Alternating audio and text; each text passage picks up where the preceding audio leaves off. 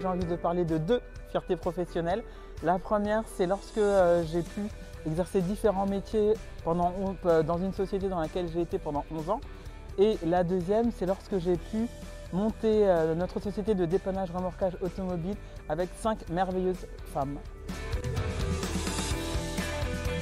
S'il faut choisir une seule qualité dans mon quotidien, ce serait la réactivité sans précipitation, car elle me permet de m'ajuster et euh, de faire face à de l'imprévu par exemple. Faire face à la discrimination euh, en 2011 lorsque euh, nous avons créé une société de dépannage remorquage au Congo-Brazzaville.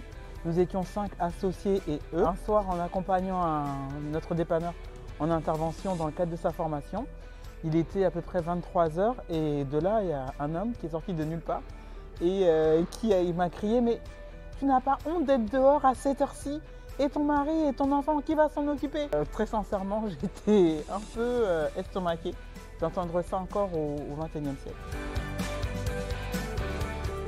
Je pense qu'on aura fait vraiment un gros progrès lorsqu'on sera plus étonné de voir une euh, jeune femme vouloir exercer un métier dit genré, par exemple euh, garagiste ou mécanicienne.